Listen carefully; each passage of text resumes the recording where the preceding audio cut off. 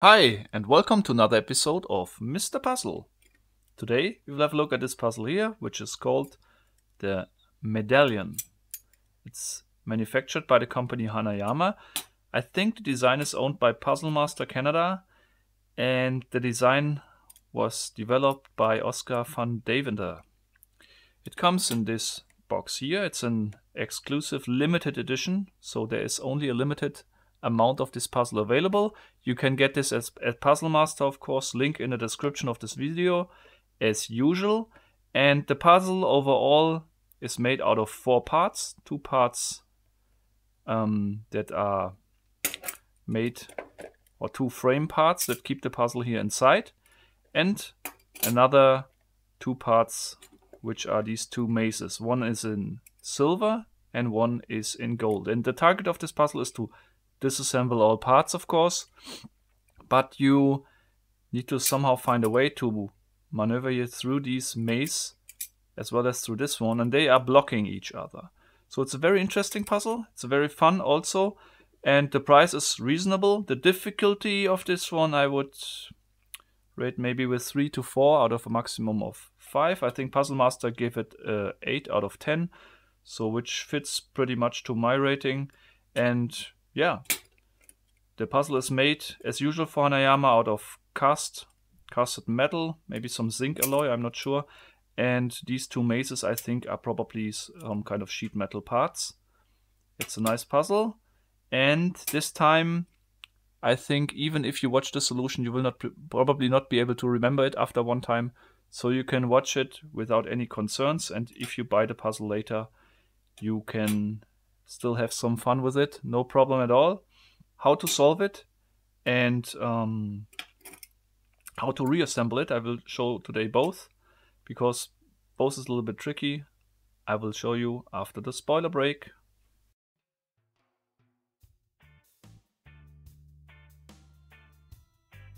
Okay, here we go.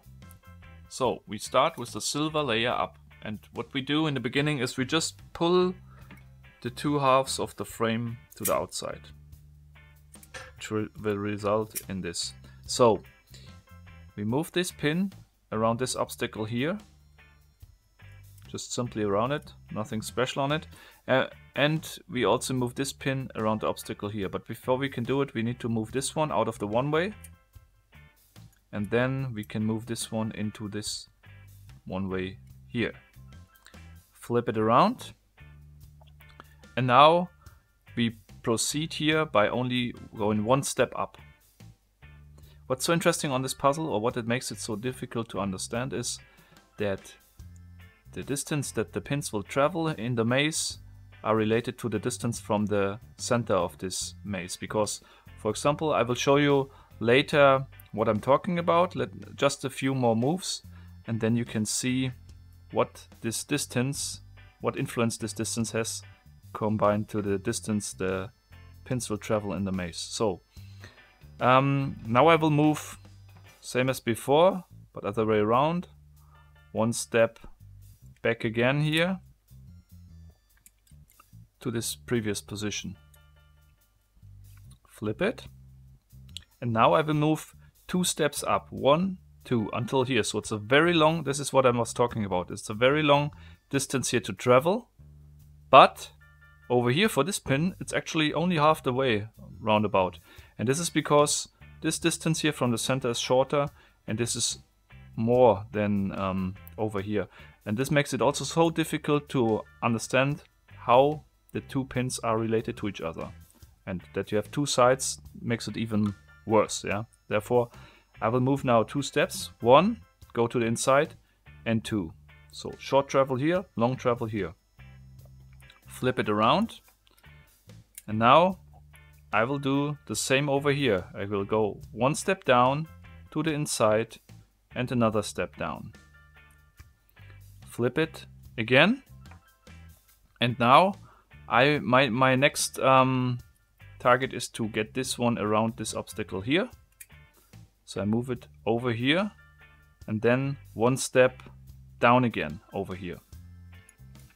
I will continue here to now move this one down one step and another step down until I'm very uh, here at the very end and up here again for the third time I think. Flip it and now move here one step up again and to the outside. Over here I will now go one step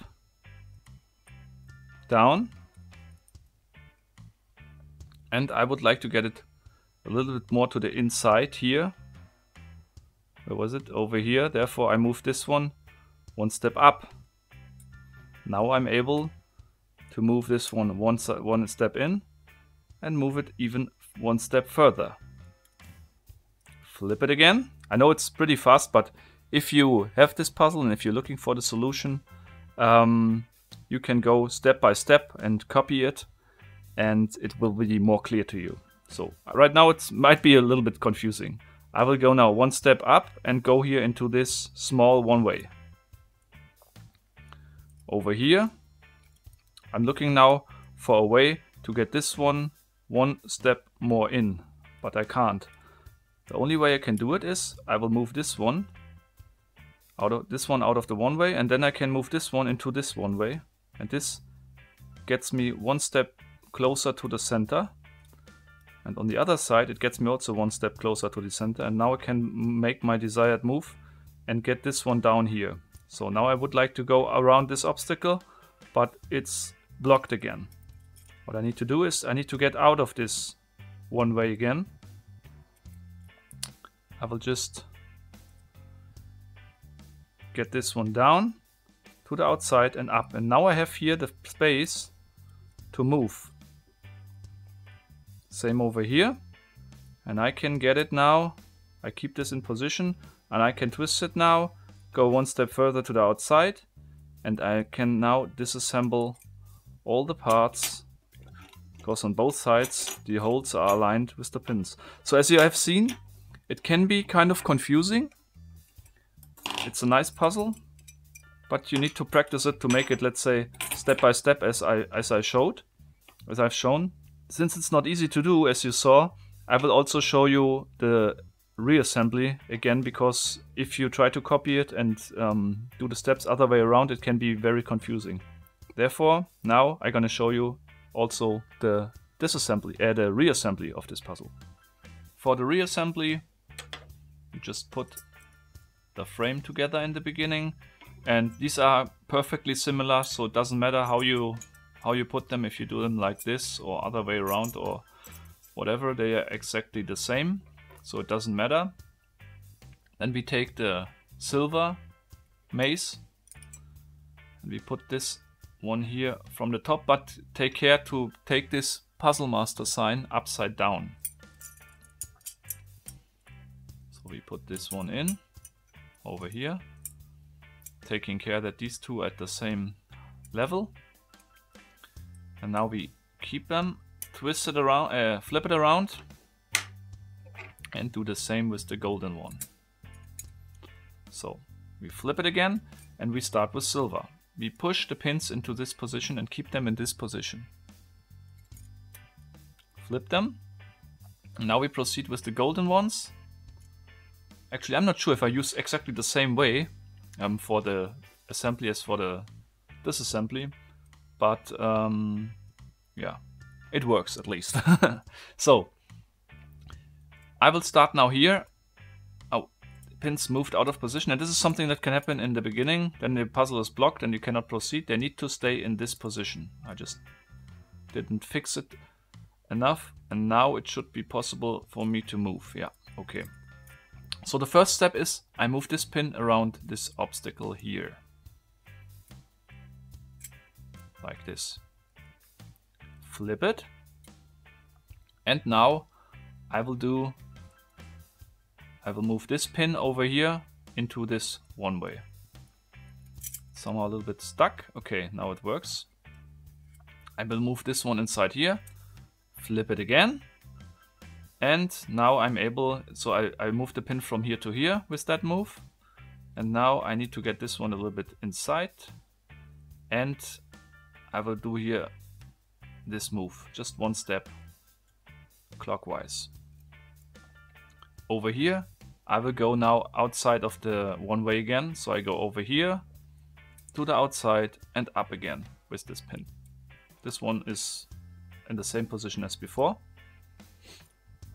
And now I go up here two steps, like one and this slide a little bit out of position, a little bit to the outside, two, and one step in over here. I flip it around,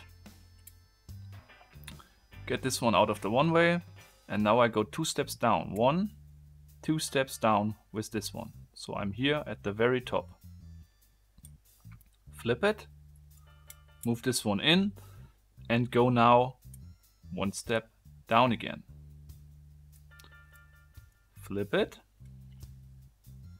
And now I'm, I'm trying to get this pin around this obstacle here. So I go one step down to the inside. Move this one also a little bit to the inside and another step down like this. Flip it again. And now I would like to get this pin around this obstacle. So I get one step down to the inside and one more step down. Uh, one step up to the side and one step down. Flip it again. And I'm coming closer now to the end. This one is pretty far away from the end still. All others are closer, so I will move. But now I do the double move again, so this is a very short distance, this is a long distance. And now I can do one, I go one step. I need to get this one a little bit to the outside and another step. Now it comes also closer to the to the end. Flip it around again and get this one now into this position here, into the one way. Flip it around, move this one. We are pretty close now. This one down here. And I would like to get it in, but I can't because it's blocked here in the one way. But what I'm doing now is I will get it out of the one way and this is actually the move I need because this moves the pin from here to here. And now I'm pretty close to the end on both sides.